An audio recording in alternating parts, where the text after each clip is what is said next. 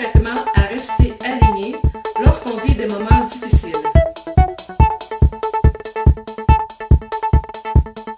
Bonjour, ici Audrey Bérubé, fondatrice du site web créersareussite.com où il est question des enseignements sur la loi de l'attraction et aussi de la conscience de la richesse, de la richesse intérieure vers la richesse extérieure. Nous sommes vendredi et c'est la réponse à la question de la semaine sur la loi de l'attraction qui nous provient aujourd'hui de Marie qui habite le nord-est de la France? Alors je vous répète sa question. Comment arriver concrètement à rester aligné lorsqu'on vit des moments difficiles? Quelles astuces ou trucs pourriez-vous conseiller par rapport à la loi de l'attraction? Alors, merci beaucoup Marie pour votre très belle question. Alors, évidemment, selon la loi de l'attraction, ce qu'il faut se rappeler, c'est que lorsque nous vivons des moments plus difficiles, c'est que nous sommes à ce moment-là dans de basses vibrations, donc des énergies plus négatives. Et la loi de l'attraction dit souvent que, et, tout le temps là, que rien n'est plus important que de se sentir bien.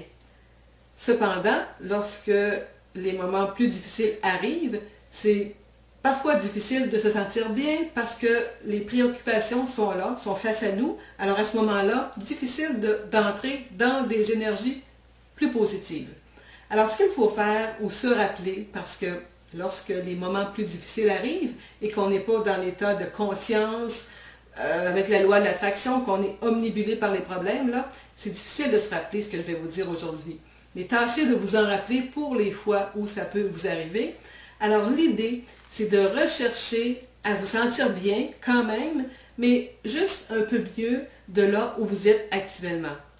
Qu'est-ce que ça l'entraîne? Évidemment? Ça l'entraîne d'avoir des pensées différentes et de changer votre focus d'attention pour que votre esprit ne demeure pas préoccupé par le problème ou le moment difficile auquel vous faites face. Vous savez, on dit souvent que ce n'est pas tant la circonstance ou la situation qui est importante, là, une fois que c'est manifesté, que c'est notre état d'être qui est important. Parce que notre état d'être, c'est lui qui va refléter les prochains mouvements de vie près de nous, donc qui va amener à nous les prochaines situations. Alors là, l'idée, les moments plus difficiles arrivant, si ça vous arrive, là, vous devez faire en sorte de changer votre focus d'attention et le truc ou les trucs que je peux vous donner, ça dépend de chacun. Chacun va trouver le truc ou l'astuce qui lui correspond le mieux, mais c'est de changer, de vous changer les idées, donc d'aller peut-être prendre une marche, de prendre un bon livre pour vous distraire ou de peut-être d'appeler un ami ou une amie également. Cependant, lorsqu'on appelle les autres personnes pour faire part de nos problèmes, qu'est-ce que ça génère? Ça génère, on alimente encore le problème et ce n'est pas nécessairement la meilleure solution, bien que d'en parler peut faire du bien. Moi, je vous dis à ce moment-là, tâchez de vous rapprocher davantage de votre source d'énergie, votre source euh, d'énergie propre à vous. Ce que j'entends par là, c'est que chacun d'entre nous, nous sommes liés à une source d'énergie plus grande que nous. En fait, évidemment que ça dépend des croyances de chacun, mais moi je crois que je suis en alignement avec une source d'énergie plus grande que, moi, que j'appelle la source ou mon être intérieur. Pour une autre personne, ça peut être tout simplement la vie, l'univers, Dieu, l'âme, les anges. Même si on ne prend pas le même mot pour nommer cette source d'énergie plus grande que nous, on a tous on est tous en connexion avec cette source-là. Parce que sinon, on ne serait pas ici sur Terre, on, serait mort. Alors, moi, je me rapproche davantage à ma source d'énergie. Évidemment, pas juste dans les moments difficiles, vous savez bien, mais dans les moments le plus souvent que je peux m'en souvenir dans une journée. Mais quand on est dans des moments plus difficiles, on dirait qu'on s'en rapproche davantage et on a plus l'idée de vouloir se rebrancher avec cette source d'énergie-là parce que pourquoi arrivent les moments difficiles, justement? C'est parce qu'on a oublié cette connexion-là avec notre propre source d'énergie. Et on pourrait même prendre ces moments plus négatifs de notre vie, prendre ce temps-là pour se rappeler, ah, là c'est le temps de me reconnecter, de me rebrancher à ma source d'énergie.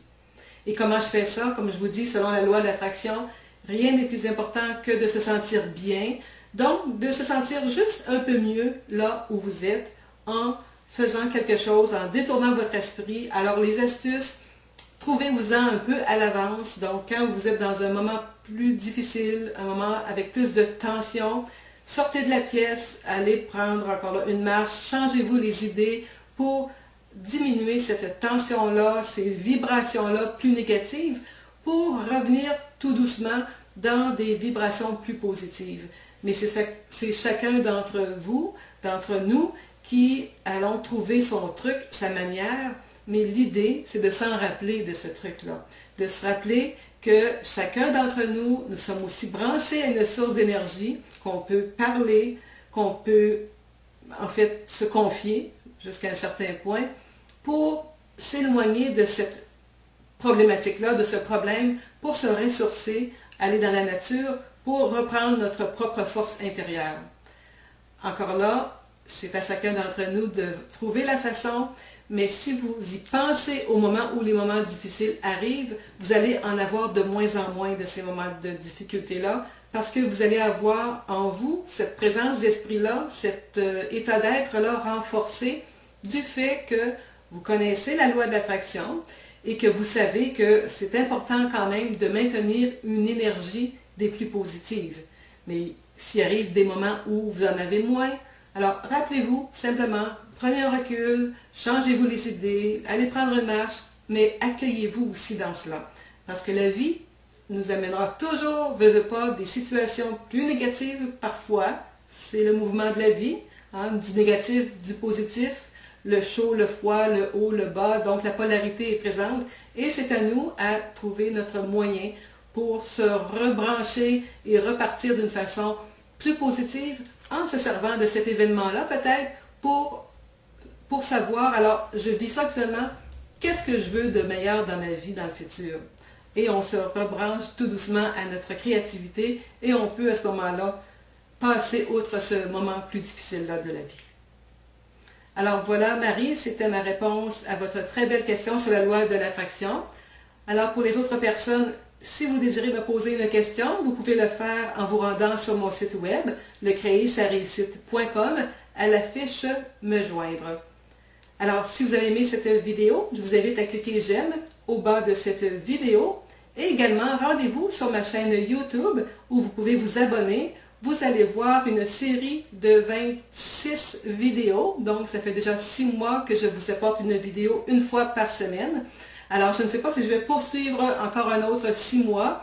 À tout le moins, je vais changer également ma méthode de vous, de vous parler par le biais de mini-conférences par euh, YouTube.